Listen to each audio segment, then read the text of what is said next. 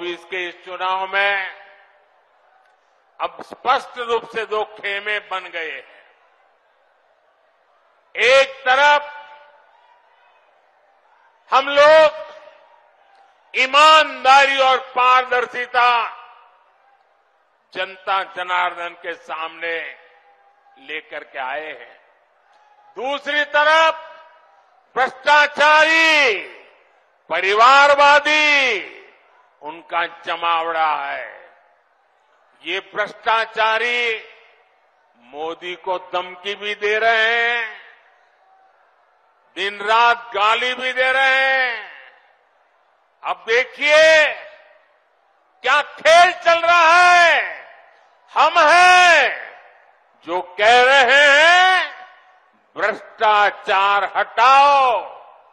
और वो कहते हैं भ्रष्टाचारी बचाओ।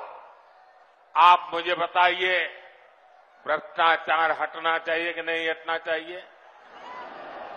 भ्रष्टाचार हटना चाहिए कि नहीं हटना चाहिए? भ्रष्टाचार से मुक्ति मिलनी चाहिए कि नहीं मिलनी चाहिए? भ्रष्टाचारी जेल जाने चाहिए कि नहीं जाने चाहिए? भ्रष्टाचारियों को सजा होनी चाहिए कि नहीं होनी चाहिए?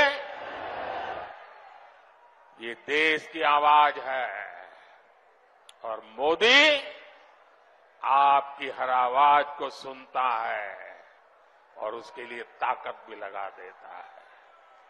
लेकिन साथियों, मुझे कितनी गालियाँ दी जाए, कितने ही आरोप लगाए जाए, मोदी इनकी गालियों और धमकियों से डरने वाला नहीं है।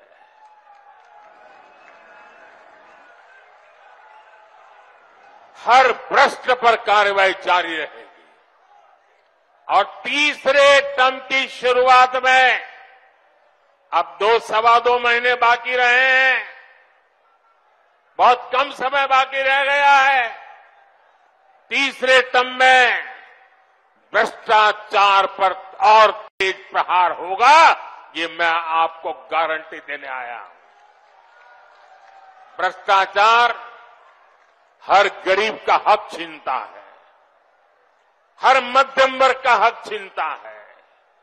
और मैं गरीब का हक मध्यम वर्ग का हक किसी को भी छीनने नहीं दूँगा। इसके इस चुनाव में अब स्पष्ट रूप से दो खेमे बन गए हैं। एक तरफ़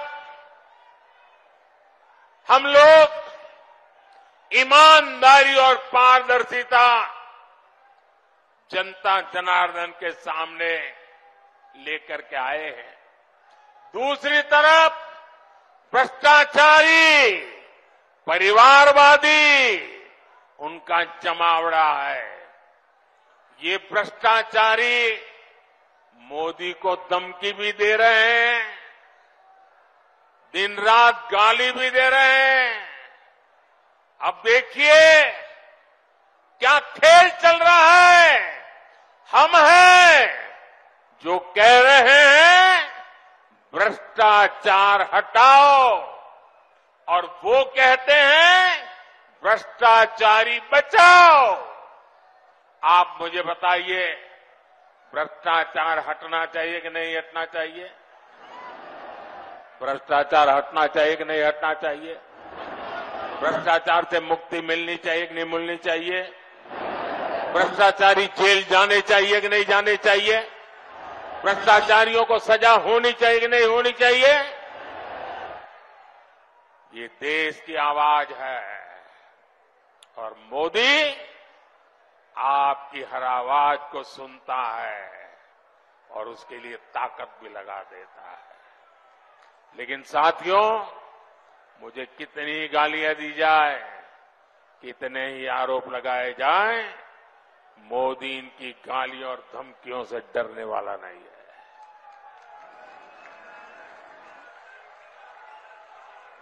हर भ्रष्ट पर कार्रवाई जारी रहेगी। और तीसरे टर्म की शुरुआत में अब दो सवा दो महीने बाकी रहे हैं। बहुत कम समय बाकी रह गया है।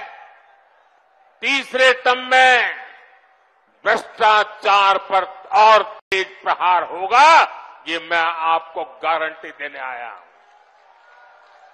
भ्रष्टाचार हर गरीब का हक छीनता है, हर मध्यम वर्ग का हक छीनता है, और मैं गरीब का हक मध्यम वर्ग का हक किसी को भी छीनने नहीं दूँगा। इसके इस चुनाव में अब स्पष्ट रूप से दो खेमे बन गए हैं। एक तरफ़ हम लोग ईमानदारी और पारदर्शिता जनता जनार्दन के सामने लेकर के आए हैं। दूसरी तरफ़ भ्रष्टाचारी, परिवारवादी, उनका जमावड़ा है। ये भ्रष्टाचारी मोदी को धमकी भी दे रहे हैं दिन रात गाली भी दे रहे हैं। अब देखिए, क्या खेल चल रहा है। हम हैं जो कह रहे हैं, भ्रष्टाचार हटाओ। और वो कहते हैं, भ्रष्टाचारी बचाओ। आप मुझे बताइए, भ्रष्टाचार हटना चाहिए कि नहीं हटना चाहिए? भ्रष्टाचार हटना चाहिए कि नहीं हटना चाहिए? भ्रष्टाचार से मुक्ति मिलनी चाहिए कि नहीं मिलनी चाहिए? भ्रष्टाचारी जेल जाने चाहिए कि नहीं जाने चाहिए? भ्रष्टाचारियों को सजा होनी चाहिए कि नहीं होनी चाहिए? ये देश की आवाज़ है। और मोदी आपकी हर आवाज़ को सुनता है और उसके लिए ताकत भी लगा देता है। लेकिन साथियों, मुझे कितनी गालियाँ दी जाए, कितने ही आरोप लगाए जाए, मोदी इनकी गालियों और धमकियों से डरने वाला नहीं है।